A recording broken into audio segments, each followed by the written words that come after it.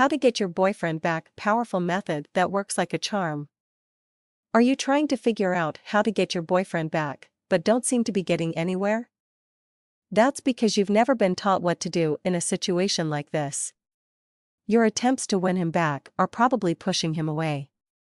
Getting back together with your boyfriend is a lot easier than you realize, you just need to learn how he thinks and use that to your advantage. It's in a man's nature to want what he can't have.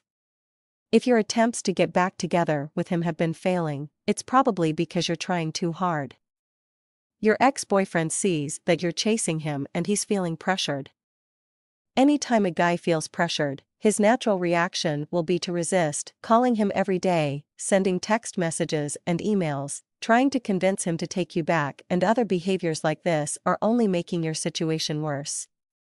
You may think that you're just expressing how you feel, but now is not the time.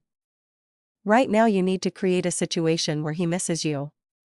How can he miss you if don't give him any space? Instead, try doing the opposite. Stop contacting him entirely. A couple weeks, maybe even a month of zero contact, will do two things. It gives him a chance to miss you, and it gives you time to calm down and get your head clear so you can come up with a plan that actually works. If you want to learn how to get your boyfriend back, stop making the mistake of trying too hard.